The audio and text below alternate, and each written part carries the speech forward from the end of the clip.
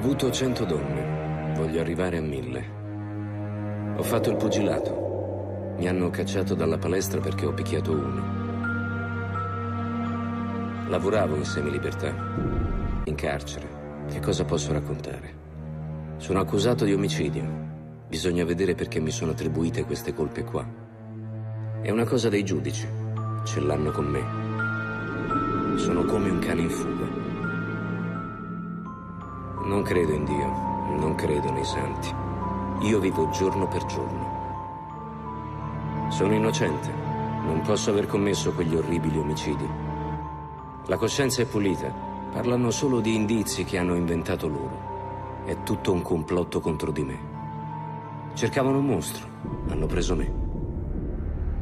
Il serial killer non è un normale cittadino. Il vicino della porta accanto che all'improvviso una mattina si sveglia e decide di iniziare ad uccidere. Il suo comportamento è frutto di una storia di esperienze traumatiche iniziate nella più tenera età e proseguite negli anni. Alcuni assassini seriali hanno subito maltrattamenti fisici e psicologici, abusi sessuali oppure traumi cranici. Altri possono essere condizionati da una predisposizione alla violenza, già presente alla nascita. Nome Maurizio, cognome Minghella. Nato a Genova il 16 luglio 1958 è detenuto nel carcere delle Vallette a Torino dal 1978. Per i secondini è sempre disponibile, sempre di buon umore, sempre gentile.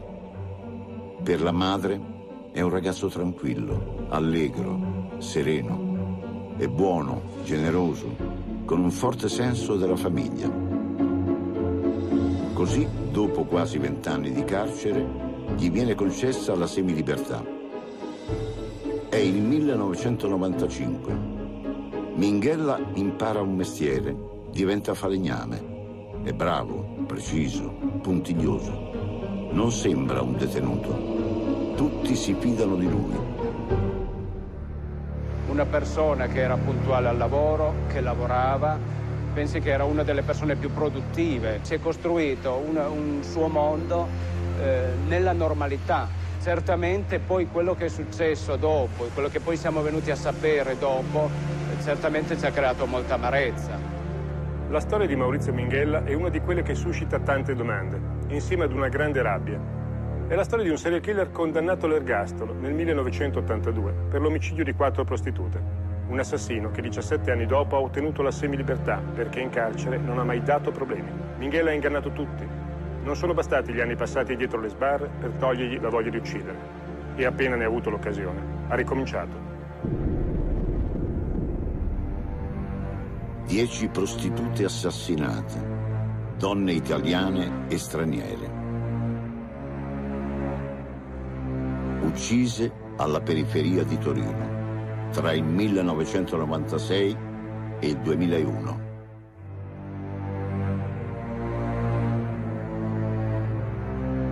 Agosto 1996. Carmagnola. Nei pressi di un campo agricolo viene ritrovato il corpo semicarbonizzato di una donna di 25-30 anni. La polizia, accorsa sulla scena del crimine, si trova davanti un'immagine raccapricciante. La ragazza è stata picchiata selvaggiamente, è stata strangolata, è morta per soffocamento. Poi il cadavere è stato bruciato con della miscela per motorini. La donna, forse una prostituta, non sarà mai identificata. Marzo 1997, San Salvario. Loredana Maccario viene ritrovata nuda in casa sua con una corda per canotti stretta attorno al collo è stata vista per l'ultima volta il pomeriggio dello stesso giorno.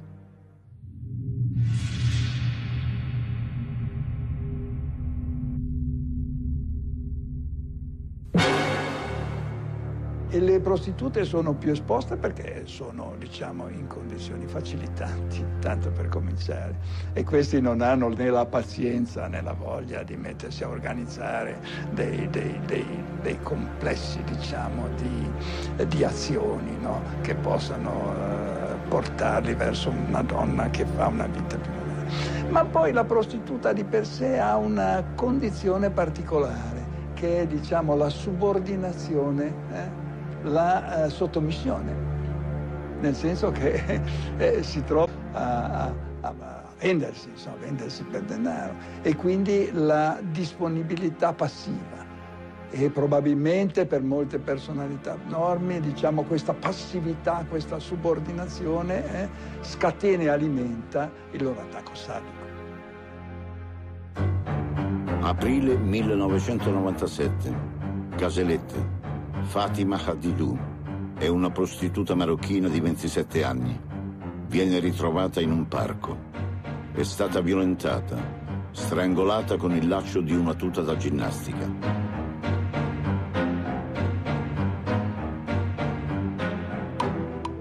suo cellulare ha ricevuto un'ultima chiamata di 80 secondi alle 15.30. Probabilmente è morta anche lei nel primo pomeriggio. È una traccia di sangue, una terribile sequenza di morte. Quattro mesi dopo, un'altra prostituta cade vittima dello strangolatore, uccisa con la tracolla della borsetta. Le similitudini tra questi omicidi eh, erano soprattutto per quanto riguardava la modalità omicidiaria. In pratica quasi tutte queste, queste donne erano state uccise mediante strangolamento o strozzamento, quindi eh, o con l'uso delle mani o con, con l'uso di un mezzo eh, meccanico, fisico, quale ad esempio la corda, un, una calza di nylon, un cordino, insomma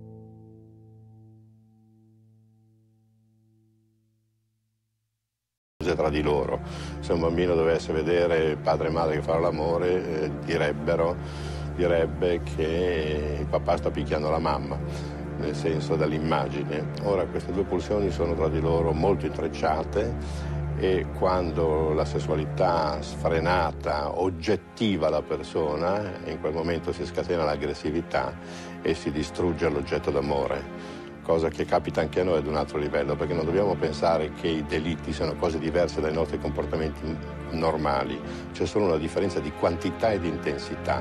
Anche noi trattiamo i nostri oggetti d'amore con l'ambivalenza dell'amore e dell'odio.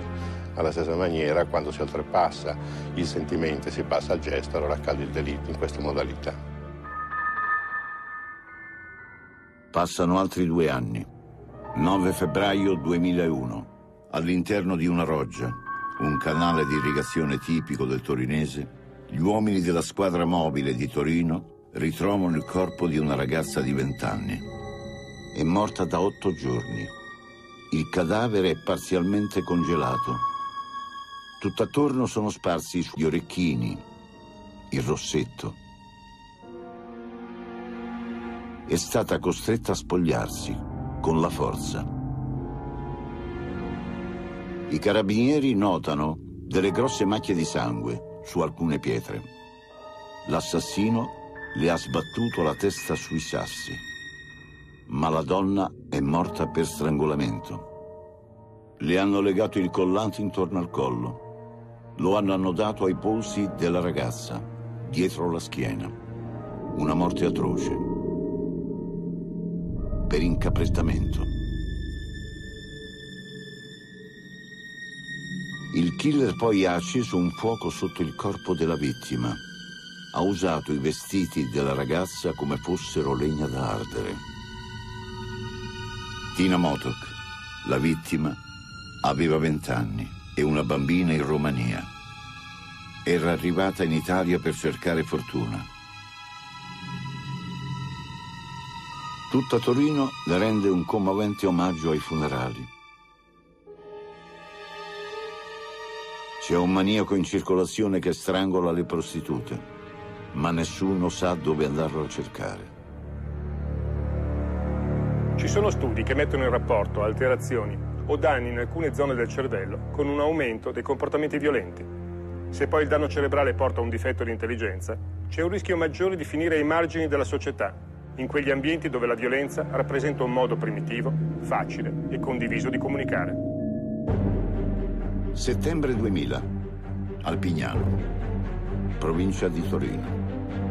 Una prostituta viene abbordata da un uomo in motorino. Un'amica della ragazza, un'altra prostituta, per precauzione prende nota della targa dello scooter. Arrivati vicino ad un canale di irrigazione, l'uomo le strappa la borsa, le ruba 280.000 lire, le prende il cellulare, poi tenta di obbligarla ad un rapporto sessuale. La ragazza rifiuta. L'uomo allora diventa violento. Vuole ucciderla, ma i fari di un'auto di passaggio lo distraggono. La ragazza si libera e attraversa la strada. L'uomo invece di inseguirla risale sullo scooter e scappa via. Ma c'è una testimone e un numero di targa. La denuncia parte il giorno stesso seguita da una precisa descrizione dell'aggressore. 7 marzo 2001. Viene arrestato Maurizio Minghella. È un genovese in semilibertà. È stato in carcere per vent'anni. Sconta un ergastolo per omicidio. Io non ho fatto nulla. Ma che rapina. Ma se frequentassi le prostitute potrei anche capire di essere coinvolto. Ma io sono uno che lavora che passa il tempo libero con la famiglia e che risponde agli obblighi di legge. E che sono sfortunato e poi, con il mio passato, è facile accusarmi di queste cose. E che sono sfortunato.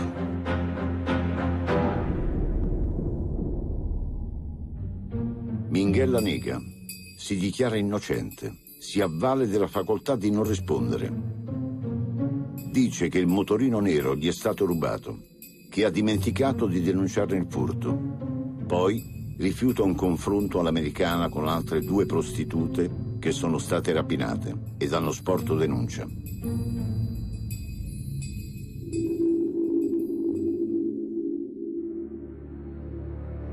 Dal dicembre 95 il Minghella si trovava a Torino in quanto sottoposto al regime della semilibertà Minghella poteva usufruire di alcuni permessi, poteva fare quello che voleva dalle ore 17 alle ore da prima 20 poi 22 di tutti i giorni. Era libero da qualsiasi impegno relativo alla semilibertà nei giorni festivi, in particolare il sabato e la domenica.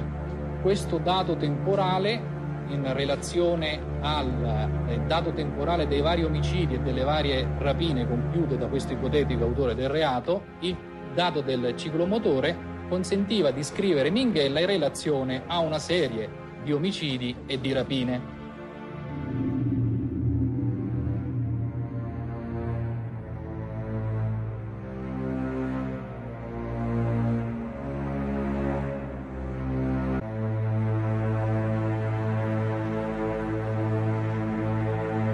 Maurizio Minghella dalla prigione nega ogni suo coinvolgimento.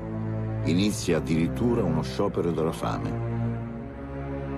Ma la squadra antimostro della direzione centrale della polizia analizza i dati sugli omicidi e il cerchio intorno a Minghella comincia a stringersi. Gli investigatori sono convinti.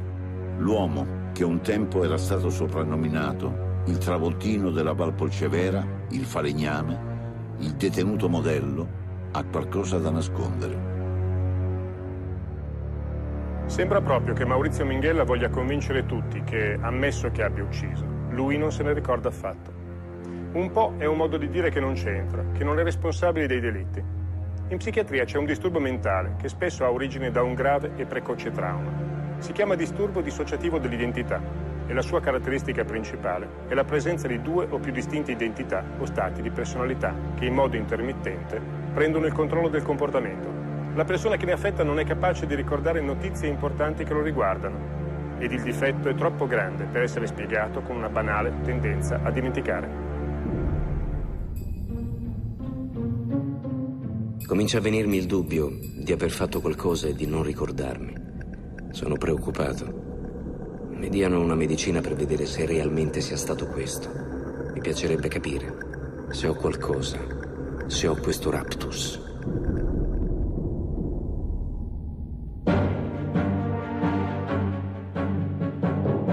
Minghella nega, ma ci sono prove che lo inchiodano. Durante una perquisizione in casa sua, in via Solari, la polizia trova alcuni telefoni cellulari sono apparecchi dai quali è stato cancellato il numero di matricola che li identifica. Ma una volta ricostruito, questo codice consente di tracciare la storia dei telefoni in possesso di Minghella.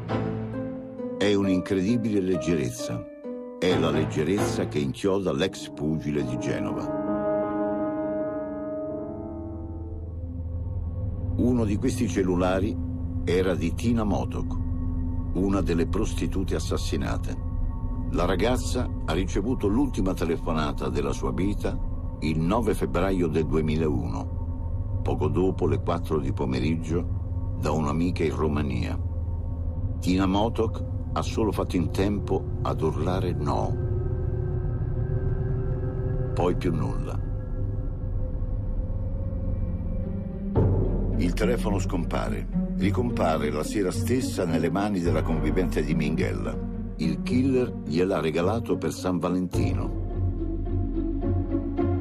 Ma ci sono anche altre prove, schiaccianti. Sulle suole delle scarpe del genovese, i resti di terriccio e vegetazione sono compatibili con quelli del luogo dove è stato trovato il cadavere. La benzina con la quale l'assassino ha cercato di bruciare il corpo della ragazza è una miscela per motorini. E ancora, il tracciato elettronico del cellulare di Minghella lo localizza sempre nella stessa zona e l'ex pugile non ha alibi, si è assentato dal lavoro, ha raccontato di essere malato, ma poi ha staccato il cellulare e quel giorno è rientrato in carcere all'ultimo minuto. È lui l'indiziato numero uno, ma continua a negare. Abbiamo pensato che eh, l'omicidio di Motoc Florentina fosse riconducibile a, un, a delle motivazioni di carattere sessuale in sede autoptica, che venne espletata nel caso di specie dal dottor Lorenzo Varetto, perché eh, il dottore eh, reperì all'interno della cavità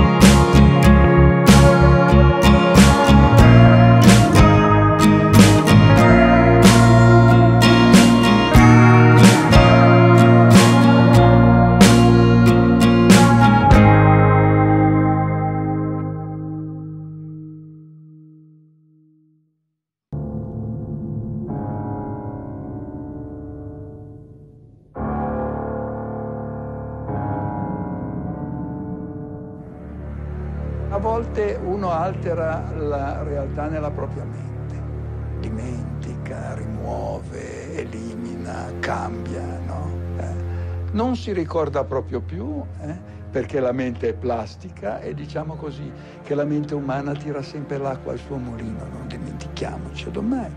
Ma una volta che la rimozione è caduta, poi subentra la negazione la negazione porta il marchio della caduta della rimozione. Quando cade la rimozione c'è la negazione intellettuale eh, che comincia a diventare negazione è, e poi travalica andando un po' più in là, c'è la menzogna, che è un'altra tecnica, no?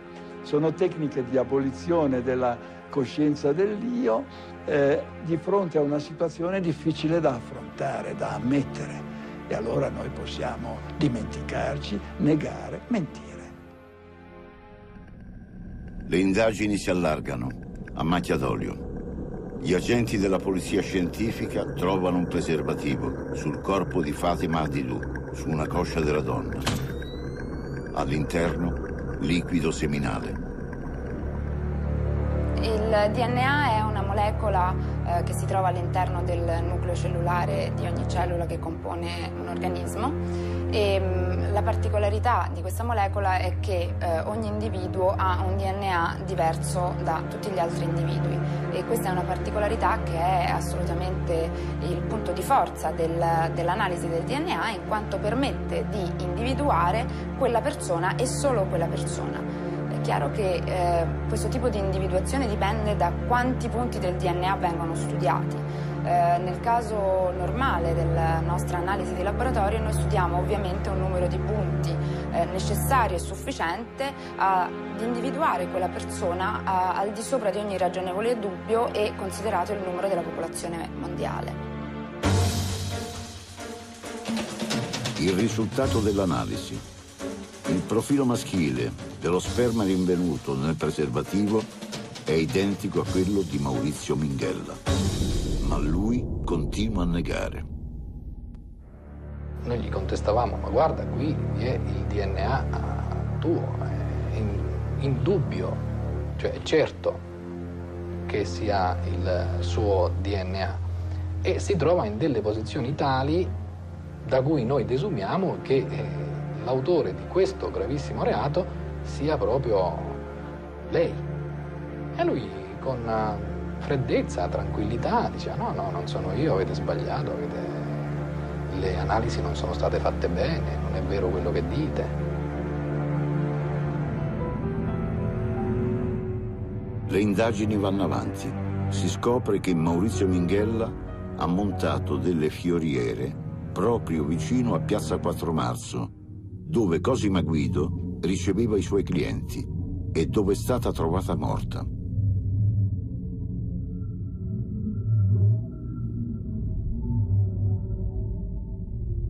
Nell'appartamento della prostituta la polizia trova un cestino pieno di carta assorbente usata, fazzoletti con i quali Cosima Guido si puliva dopo i rapporti con i clienti, una banca dati enorme che forse contiene il DNA dell'assassino. Anche sulle scale dell'appartamento vengono ritrovati due fazzoletti. Ai fini dell'individuazione dell'autore del reato interessava soprattutto verificare gli ultimi frammenti di strappo, cioè quelli che in ordine di tempo erano stati strappati dal rotolo per ultimi. E quindi si, si, trattava di trovare un modo per ricostruire la sequenza cronologica di strappo. Ebbene, questo modo l'abbiamo trovato. E l'abbiamo trovato notando che mh, mm, su ogni frammento di carta era riportato un disegno che era sfasato in ciascun singolo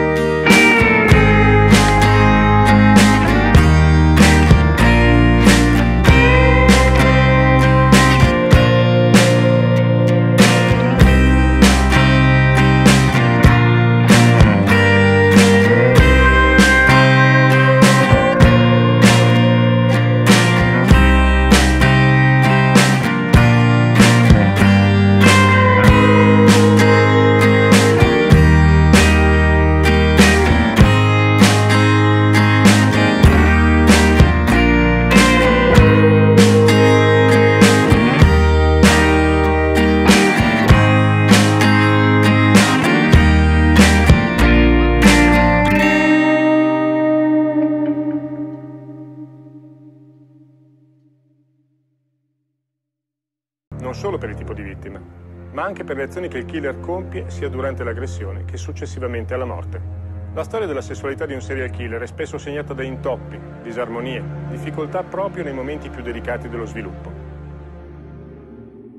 Uno dei suoi avvocati lo descrive così.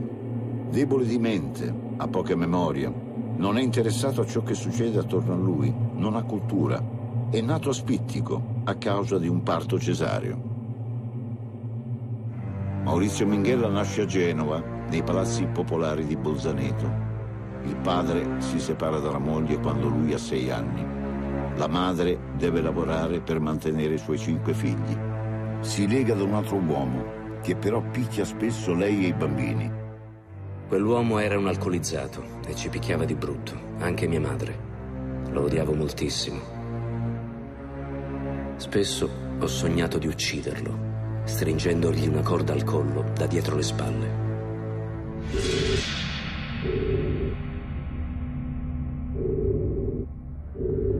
L'uomo non vive pena di denaro, l'uomo non è pena un animale quando gli, al quale quando gli è da mangiare il suo mangiare è tranquillo, eccetera.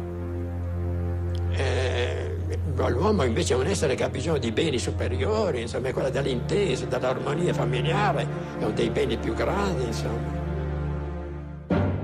Minghella va a scuola, ma non riesce a superare la seconda elementare. La frequenta fino a 12 anni. In classe manesco, pericoloso. La scuola non mi piaceva.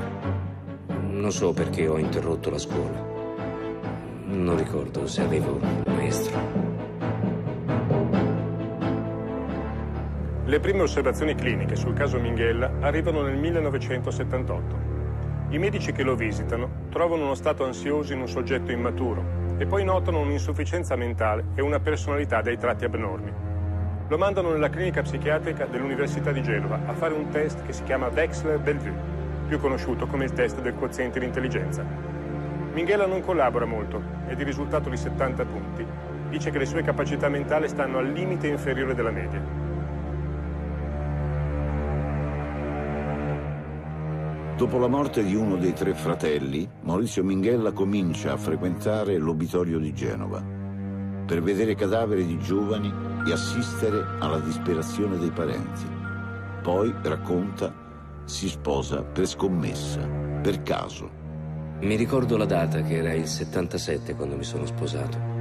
La mia ragazza si chiamava Rosy. Durante il matrimonio, prima e dopo, avevo rapporti con prostitute. La moglie, Rosa Manfredi, ha solo 16 anni. È dipendente dagli psicofarmaci. Rimane incinta poco dopo il matrimonio, ma perde il bambino al nono mese di gravidanza. È un episodio chiave nella vita di Minghella.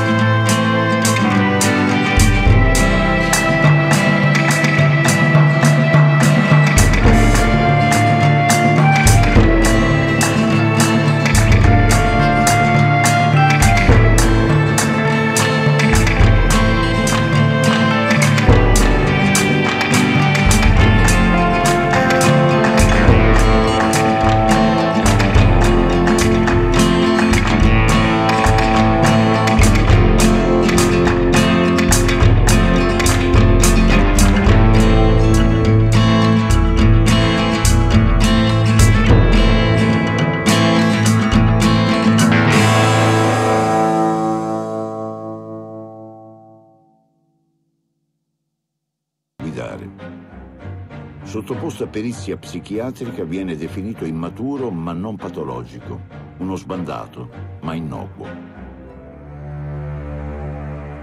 Nessuno pensa a lui quando la foto di Wanda Scerra, una commessa di 19 anni trovata uccisa per strangolamento, viene pubblicata sul giornale. Era scomparsa da cinque giorni. È il 28 novembre 1978. L'ultima a vederla è stata una collega, all'uscita dal lavoro. Un giovane l'aspettava in auto. Il cadavere viene ritrovato lungo la scarpata che costeggia la ferrovia Genova-Milano. Vanda Scerra è stata violentata, strangolata con la cintura del suo impermeabile, abbandonata vicino alla ferrovia, coperta con un plaid, ma quel plaid mette in allarme gli investigatori. L'assassino l'ha trovato dentro ad una macchina che ha rubato. Si comincia a cercare tra i ladri d'auto della zona. Si cominciò a vedere dalla banda Scerra chi poteva aver frequentato. E nei coloro che la frequentavano e che comunque la conoscevano c'era questo Maurizio Minghelli. Le indagini si allargano anche ad altri delitti che potrebbero essere stati commessi dalla stessa mano. Sempre a Genova, sempre nello stesso anno, il 1978. È un mistero, pieno di stranezze, di incoerenze, di ingenui tentativi di depistaggio da parte dell'assassino. Anna Pagano, una prostituta di vent'anni, è stata trovata nell'entroterra di Genova in un viottolo di campagna, massacrata a colpi di pietra. La ragazza era una tossicodipendente.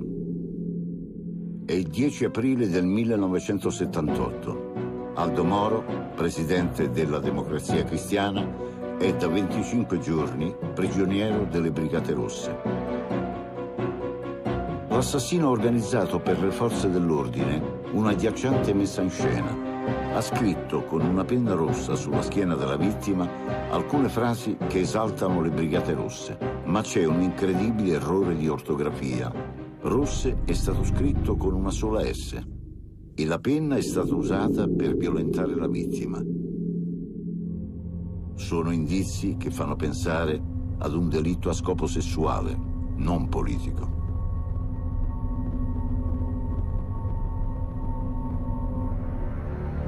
Alcuni comportamenti che si registrano sulla scena del crimine e che appaiono bizzarri ed incomprensibili sono di fatto il surrogato di una sessualità incapace di normale espressione. Ad esempio, la penetrazione con oggetti permette al killer in difficoltà di trovare il proprio piacere. 19 luglio 1978 viene ritrovato il corpo di Maria Catena Alba, detta Tina. Aveva solo 14 anni. È stata sodomizzata uccisa, trascinata in un bosco dalle parti di Bolzaneto. Anche questa volta l'assassino ha allestito una grottesca messa in scena. Ha appeso la vittima ad un albero per simulare un suicidio. Il caso a Genova provoca sgomento e rabbia. 22 agosto, Maria Strambelli, 21 anni, Barese, commessa in una drogheria. Non torna a casa dopo una serata in discoteca con un'amica. Il suo corpo, in avanzato stato di decomposizione, viene trovato dal fratello nove giorni dopo, in un bosco dalle parti di Manasseno, alla periferia nord-occidentale di Genova. La ragazza è nuda, coperta solo da foglie. L'avanzato stato di decomposizione non rende possibile stabilire se ha subito violenza. A Genova si diffonde il panico. I giornali titolano a nove colonne, mostro, ma le indagini arrivano presto ad una svolta. Il plaid che copre il corpo di Wanda Scerra, l'ultima vittima, porta a Maurizio Minghella. 6 dicembre 1978, alle due di notte, dopo 38 ore di interrogatorio, Minghella crolla e confessa due omicidi. L'impressione che ebbi interrogando Maurizio Minghella era di avere a che fare con una, un ragazzo giovane, molto semplice, un ragazzo normalissimo, quelli che, sono, che vivono in quegli ambienti, nell'ambiente lì della Val Polsevera. Mm, non mi era sembrato, non aveva tic di nessun tipo, cose che io avrei notato sicuramente. Parlava con una certa mm, tranquillità e con un senso di forte depressione.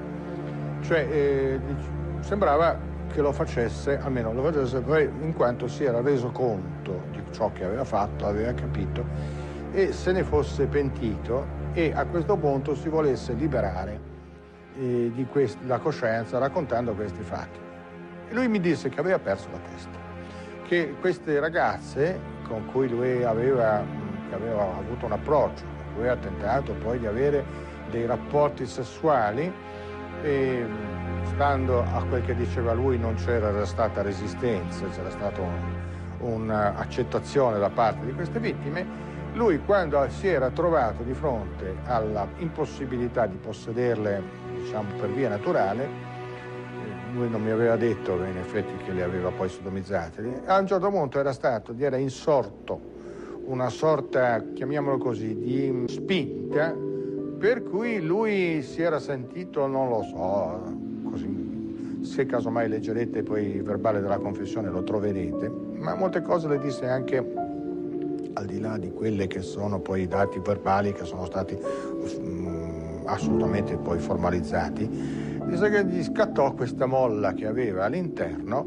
e che lo portò a esercitare violenza nei confronti, cioè a, a uccidere questa ragazza.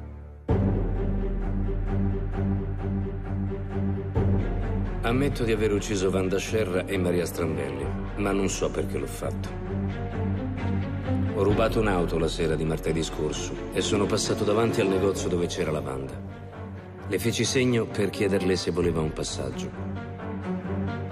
Portai la ragazza nel piazzale presso la massicciata della ferrovia, dietro la centrale del latte. Tentai di avere degli approcci con la ragazza, ma poiché lei non ci stava, le detti un cazzotto nello stomaco e un altro in faccia. Poi tirai giù alla ragazza i calzoni e le mutande ed ebbi con lei un rapporto.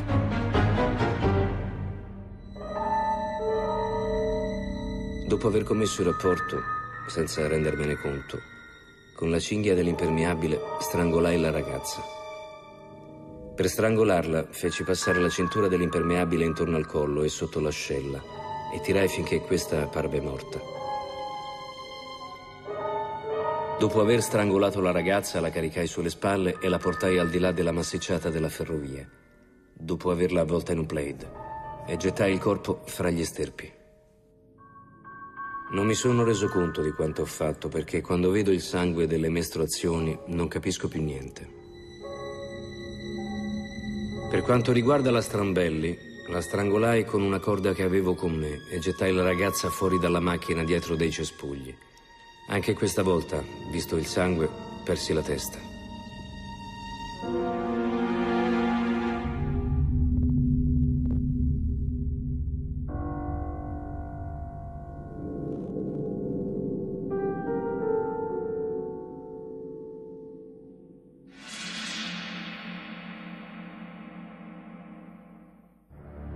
Vizio è un'abitudine che uno ha preso, eh, che non sa più governare, che lo distrugge, che lo consuma e lo porta a fare delle cose di cui poi un giorno si pentirà.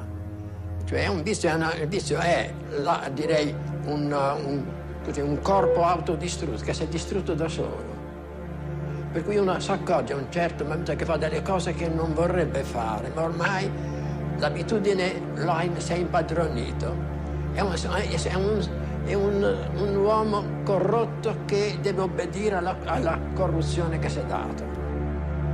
Nel dicembre del 79 Aldo Franchini, Franco Giberti e Giorgio Chiozza dell'Università di Genova sottopongono il serial killer a una perizia psichiatrica. Non trovano in lui patologie psichiatriche maggiori, piuttosto tratti di psicopatia e di perversione e poi una componente sadica. Accertano che Minghella ha delle difficoltà in campo sessuale che gli producono crisi d'ansia e cefalea, poi il timore di non riuscire a completare il rapporto e sentirsi svalutato di fronte alla partner. La loro conclusione è che l'assassino non è affetto da infermità mentale tale da escludere o scemare grandemente la sua capacità di intendere e di volere.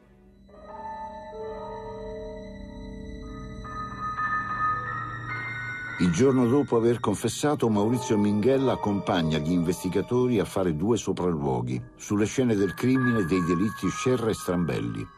Dice di aver ucciso in preda ad un raptus. Sembra la fine di ogni mistero e l'inizio di un percorso di terapia psichiatrica. E invece è la prima ed ultima volta che Minghella collabora con la giustizia. Dopo sei giorni ritratta Dice di essere stato costretto a confessare. Accusa i poliziotti di violenze. Al processo le telecamere sono tutte per lui. Le prove lo inchiodano. Tempi, luoghi, modus operandi. Indizi che diventano prove schiaccianti. La perizia calligrafica stabilisce senza ombra di dubbio la corrispondenza tra la mano che ha sfregiato il cadavere di Anna Pagano e quella dell'ex pugile e anche l'errore di ortografia ricorre in molte sue lettere. Il bosco dove Alba Maria Catena è stata barbaramente assassinata è un luogo molto isolato dove Minghella è solito andare a campeggiare. La polizia trova un fumetto pornografico che descrive lo stesso delitto. È solo una impensabile coincidenza? Si è aperto questa mattina alla Corte d'Assise di Genova il processo carico di Maurizio Minghella, un giovane di 23 anni accusato di avere seviziato ed assassinato quattro ragazze. I delitti avvennero nel corso del 1978, teatro della vicenda la Valpolcevera, la periferia operaia della città. Le vittime, ragazze fra i 14 e i 20 anni, vengono ritrovate sulle alture della vallata. Non mancano i particolari raccapriccianti sulle sevizie subite e sulle cause della morte.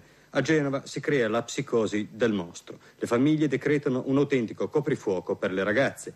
Tre giorni dopo l'ultimo delitto, il 6 dicembre, viene arrestato Maurizio Minghella, 20 anni, immigrato dell'ultima generazione, ex pugile si dichiara, qualche precedente penale di poco conto. Il classico ragazzo di Borgata, una storia di disadattamento che inizia dalla scuola e si completa per lui e la famiglia nella casa popolare ottenuta nel classico quartiere ghetto a Bolzaneto. Maurizio Minghella, dopo l'arresto, confessa due dei quattro delitti, poi ritratta tutto. L'anonimo ragazzo di periferia si scopre protagonista. Lo era nelle balleere della vallata, dove sembra fosse un piccolo duro ed un ballerino provetto, e nelle discoteche che Minghella, autentico travoltino, viene a contatto con tutte e quattro le vittime. Protagonista intende esserlo anche al processo, dove già dalle prime battute, è stato ascoltato questo pomeriggio, cerca di tenere testa con spavalderia alle contestazioni dei magistrati, negando tutto. La freddezza dell'imputato in aula gela la stampa. La sua deposizione è un misto di degrado morale e indifferenza. La madre prova a offrirgli un alibi, ma viene smentita. Minghella si dichiara, e d'ora in poi lo farà sempre, innocente, a dispetto di ogni prova. Si legge nella perizia psichiatrica. È uno psicopatico sessuale, ma totalmente capace di intendere e volere. Il difensore di Minghella sostiene che se gli omicidi sono stati l'opera di un pazzo e Minghella è sano di mente, allora Minghella non può aver compiuto i delitti dei quali...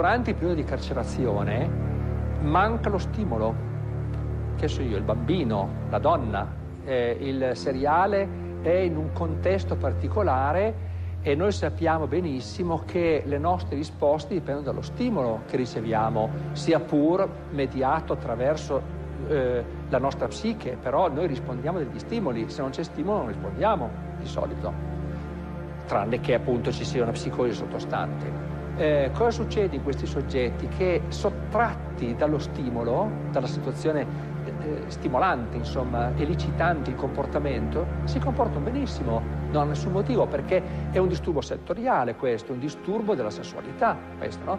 Come vengono eh, messi in libertà, ovviamente, vengono sollecitati dagli stimoli del mondo circostante e quindi ricominciano a seriare. Nel secondo processo a Minghella, che si svolge nel 2004, è nuovamente disposta una perizia psichiatrica e tocca ai professori Enzo Bosco, Franco Freilone e Salvatore Luberto.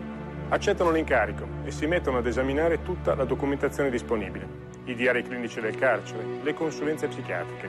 Rifanno poi il test di Dexler e altri esami, un elettroencefalogramma, una risonanza magnetico-nucleare. Non trascurano nulla, ma non trovano disturbi organici. Certo che nella storia di Maurizio Minghella c'era stato qualche problema medico, una sofferenza al momento della nascita, un ritardo nello sviluppo, difficoltà nell'apprendimento, eppure un rachitismo infantile. E ancora salta fuori il problema del ritardo mentale, ma che comunque appare di lieve gravità. Gli specialisti non trovano però niente che faccia pensare alla psicosi, alla schizofrenia. Concludono allora per un disturbo di personalità, uno di quelli che nel manuale diagnostico e statistico, il cosiddetto DSM, stanno nel gruppo B. Dentro sono raccolti il disturbo antisociale, il borderline il narcisistico e quello istrionico. Niente che abbia comunque i presupposti medico-legali del vizio parziale o totale di mente. Qualcuno solleva il problema della necromania per le azioni che Minghella ha compiuto sui cadaveri delle sue vittime. Si tratta certo di una perversione sessuale, tra le più bizzarre e disgustose, ma non necessariamente associata alla follia e all'incapacità.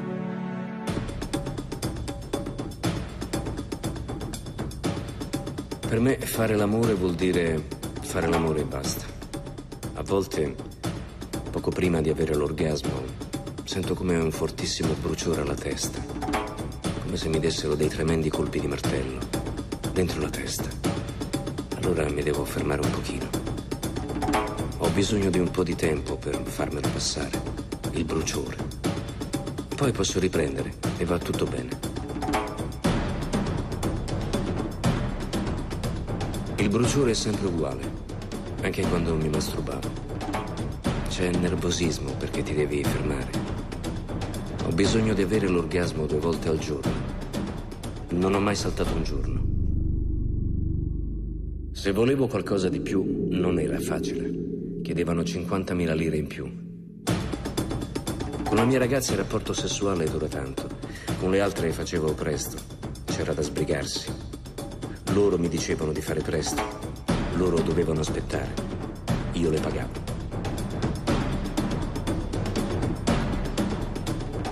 Ho come un dolore dentro, all'interno della testa, al cervello, come un tamburo.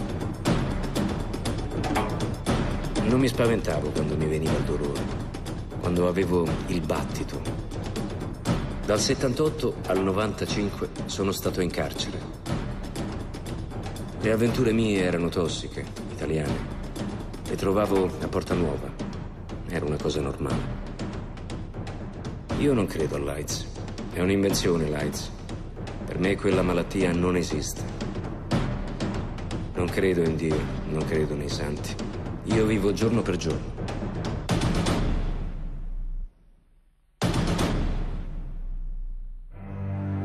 Credo che purtroppo allo Stato e alle nostre conoscenze non ci sia rimedio alcuno, la castrazione poi è una, una sì, un'ipotesi selvaggia, diciamo, proprio eh, senza senso, non ha né, capo né coda la castrazione, perché voglio dire, eh, ipotizziamo di poter fare questa operazione, no?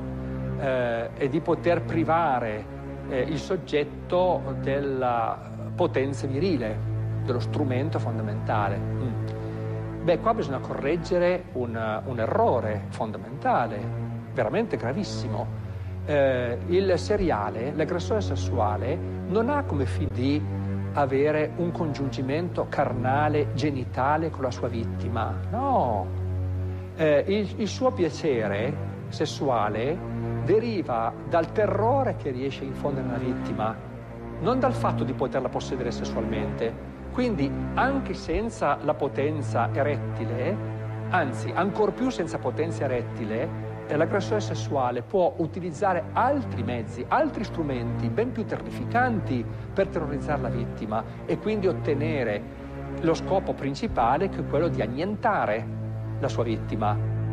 Maurizio Minghella deve oggi scontare una condanna all'ergastolo. Ha ucciso ripetutamente, con un lungo intervallo di tempo che non è dipeso dalla sua volontà, piuttosto dal fatto che era stato messo in condizioni di non fare del male, chiuso dietro il blindato di una cella. Non è nemmeno certo che abbia ucciso solo quelle povere vittime per le quali è stato condannato. È probabile, anzi, che abbia taciuto su altri episodi, altre morti di cui è responsabile. Agile e muscoloso. Si dice che in carcere Minghella faccia esercizi quotidiani con pesi improvvisati, legando manici di scopa a sacchi di sabbia. Lui invece racconta che si sta lasciando andare, di essersi trascurato, di non avere più forze. Eppure. Primavera 2001. Minghella cerca di evadere dal carcere delle Vallette a Torino, uscendo dal locale della lavanderia arriva al primo muro di cinta. 2 gennaio 2003, mattina. Ci riprova. Si fa ricoverare per dei dolori al petto e al braccio. Nel primo pomeriggio riesce ad uscire dalla finestra del bagno del pronto soccorso e a scappare. Nella caccia all'uomo che si scatena immediatamente, il caso gli è di aiuto. Viene ritrovato un cadavere poco lontano. Si pensa ad un suicidio di Minghella ma è una falsa traccia che depista la polizia. In realtà è un contadino morto per un malore durante il lavoro. Nel frattempo Minghella sale al volo su un treno in transito e raggiunge Biella. Alle 22 però viene rintracciato. Urla di essere armato, ma è un blef. Quando lo catturano confessa che era diretto a Torino per uccidere il PM Sparagna. Meno male per lui che mi avete preso perché altrimenti una pallottola in fronte non gliela levava nessuno. Condannato per direttissima, viene rinchiuso in un carcere di massima sicurezza.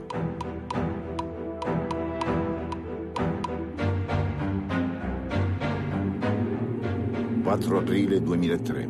Si conclude il processo che lo condanna all'ergastolo per l'omicidio di Tina Motok e a 30 anni di reclusione per gli omicidi di Fatima Hadidou e Cosima Guido.